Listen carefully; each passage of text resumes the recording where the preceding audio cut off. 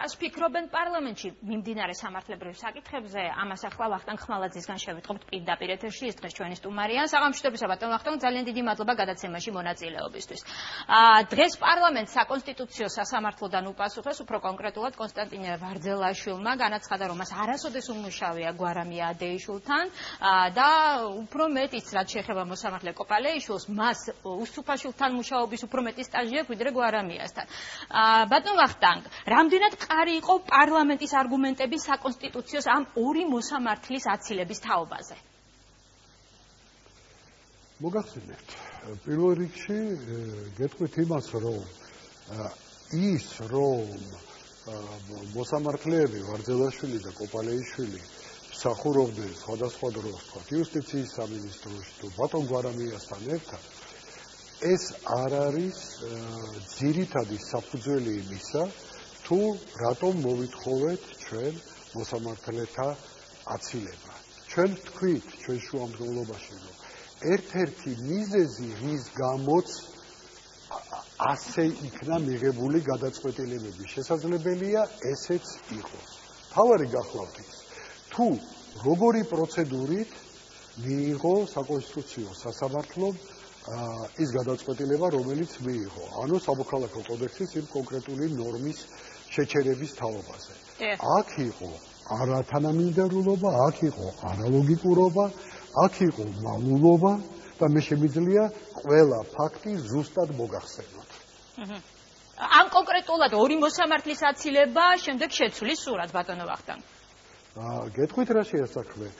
მე მიმაჩნია რომ აქ არამხოლოდ კოლეგიის თავმჯდომარის ბატონი ვარძელაშვილის პრობლემა იკვეთება, არამედ შესაძლოა ჩვენ ვილაპარაკოთ მთლიანად კოლეგიის პასუხისგებლობაზე და საკითხი დაგვესვა თქვა კოლეგიის აცილების თაობაზე. მაგრამ ორი ორი მოსამართლეს აცილება თუ დაკმაყოფილდა, თავისთავად ავტომატურად ეს ნიშნავს იმას, რომ საქმე განსახილველად გადაეცემა მეორე კოლეგიას. ანუ ეს ტოლფასია კოლეგიის აცილებისა. და მოკლედ გეტყვით მიზეზებს რის გამო გაჩნდა ჩემი აზრით საფუძვლიანი ეჭვი რომ აქ არაობიექტურ მიდგომასთან ქონდა საქმე. დიახ. სასამართლოში, საკონსტიტუციო სასამართლოში შეტანილი იყო სამი სარჩელი.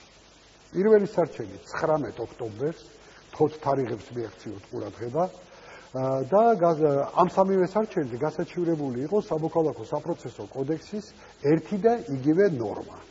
ანუ პირველი სარჩელი იყო 19 ოქტომბერს, მეორე სარჩელი, რუსთავი ორი სარჩელი შევიდა 26 ოქტომბერს, მესამე სარჩელი შევიდა 28 ოქტომბერს. სამივე სარჩელში ერთი და იგივე ნორმაა გასაჩივრებული. საკონსტიტუციო სასამართლომ ჩვენ გვაცნობა 29 ოქტომბერს რომ პირველად შეტანილი სარჩელი რომელიც იყო რომ იმის განხილვა ზეპირი მოსმენით ანუ ხარეთა მონაწილეობით მოხდებოდა 9 ნოემბერს. ნუ ჩვენგან მიიღო თანხმობა. დიახ. 30 ოქტომბერს, ანუ მეორე დღეს, საკონსტიტუციო სასამართლოდან გვიკავშირდებიან და გვატყობინებენ, რომ მეორე სარჩელიცო, ეს უკვე არის 28 ოქტომბერს შეტანილი სარჩელი.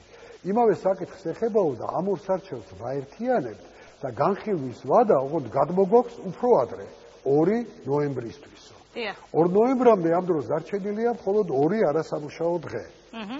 ჩვენ ვითხოვეთ გონივრული ვადის მოცემა იმისათვის რომ ჩამოყალიბებულიყო ოპოზიცია საჩელებთან დაკავშირებით რაზედაც ვითხრეს უარი იმავდროულად ჩვენი წარმომადგენელი ეკითხება საორგანიზაციო სამსახურს საკონსტიტუციო სასამართლოსი რუსთავი ორის სარჩელი არის თუ არა რეგისტრირებული და რა საკითხს ეხება ეს სარჩელია ჩვენ ინფორმაცია გქონა მხოლოდ თავად რუსთავი ორის განცხადებიდან მაგრამ სარჩელი ფიზიკურად ნანახი არ ხოდა და ვერც ვნახავდი.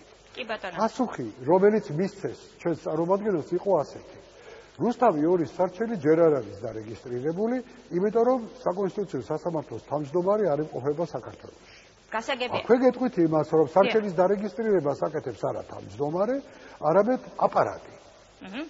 ამის შემდეგ ეს ორი სარჩელი გაერთიანებული განწესრიგებელი სლობა ინიშნება ორ შაბათს 2 ნოემბერს დილის 10-ის ნახევარზე.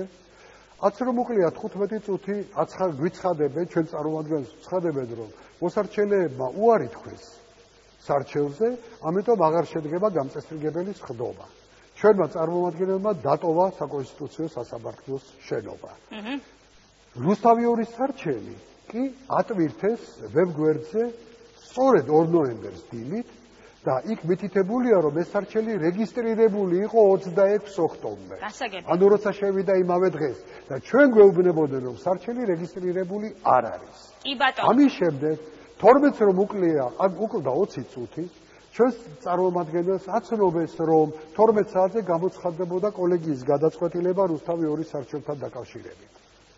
ჩვენ არც ის ვიცოდით რომ სხდომა შედგებოდა განხილვა შედგა ხარეთა მონაწილეობის გარეშე, მაშინ როდესაც ზუსტად იმავე საკითხზე სხვა ორ სარჩელზე განიცული იყო ხარეთა მონაწილეობა. ანუ ეს ყველაფერი ქმნის იმ საფუძველს, რომ აქ საქმე ხონდა მიკერძოებულ მიდგომასთან. როგორც ჩანს, მე შემიძლია კვლავ ვარაუდის დონეზე ვთქვა, ეს ჩვენ შუამდგომლობაში საღმრთნული გვაქვს. კი ბატონო. როგორც ჩანს, ვარაუდობდნენ, რომ გადაწყვეტილება მიიღოთ არა რუსთავი ორის სარჩელთან დაკავშირებით, არამედ სხვა ორ სარჩელთან დაკავშირებით და მისი დაკმაყოფილებით დაკმაყოფილდებოდა რუსთავი ორის მოთხოვნა. გასაგებია ბატონო. მაგრამ როდესაც მისი განხილვა არ შედგა, უკვე რუსთავი ორის